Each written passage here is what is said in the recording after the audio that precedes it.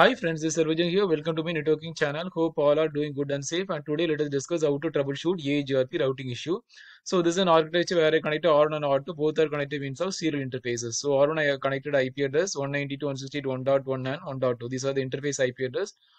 So both should reside in the same subnet, right? And to R1 I connected two different hosts. So this host IP address 10.2 and 20.2. Both are in different subnet. And PC3 and PC4 both are in the different subnet. So I have establish the neighbor relationship using EIGRP.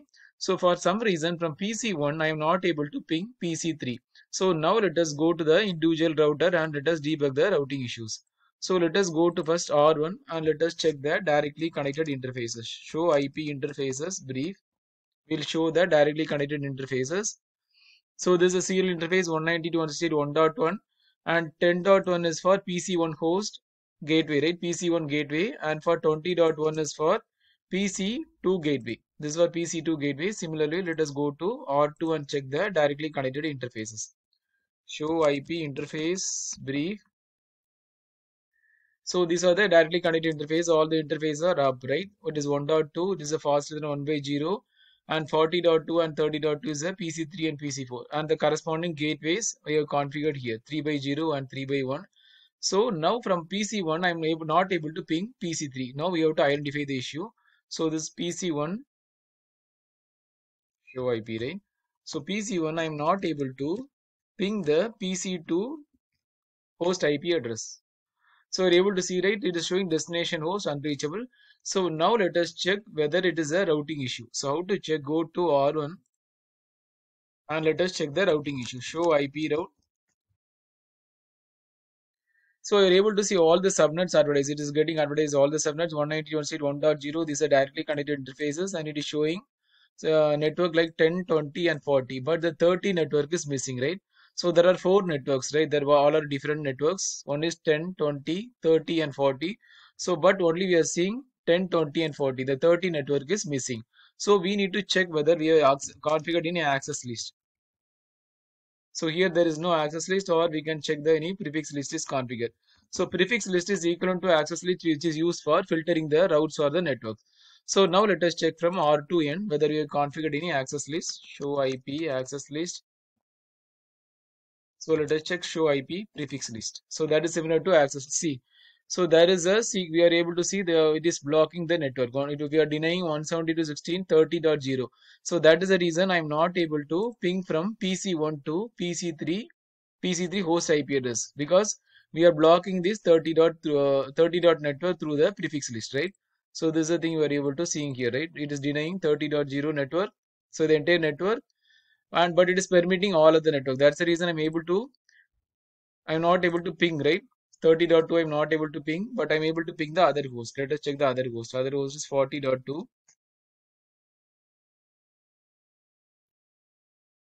So I'm able to ping the other host IP address only from PC1 I'm not able to ping the PC3 because of this prefix list which is denying the entire subnet, right? There's a prefix list which is denying the entire subnet. So how to configure this I will show you. Go to show running configuration. So I configure the prefix list, IP prefix list followed by the prefix list name and this is sequence number and it is denying the subnet 30.0 and the remaining network it is allowing. That is a prefix list. And this prefix list I am just allowing in the distribute list like so you are able to see router EIGRP since I configured the router EIGRP what happened it is blocking the 30th that is blocking the 30 network right? So distribute list followed by the prefix list name that is filter 1 out is nothing but outbound and the inbound traffic so that is the main reason it is denying the 117.30.0 network so now what we can do just we can go ahead and remove the network go to the configuration mode and go to router EIGRP 100 and let us now remove it remove the distribute list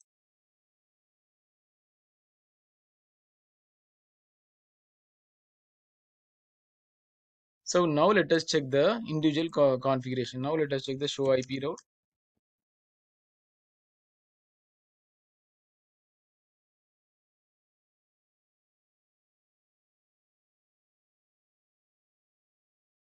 See now we are able to see the network because I removed from the EIGRP router configuration because I have mapped that prefix list to the distribute list. So distribute list is nothing but a sequence of access or a prefix list.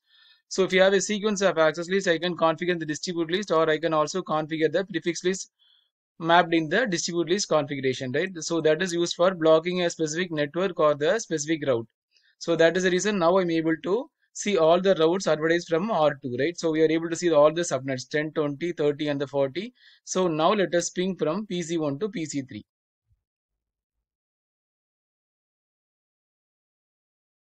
So I'm able to ping 40.2 that is a remote PC4 and let us ping PC3 IP address that is 30.2.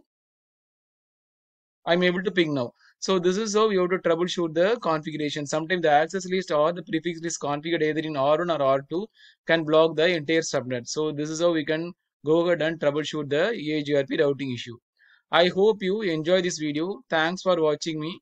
Please subscribe me for more videos. Thank you and have a wonderful day.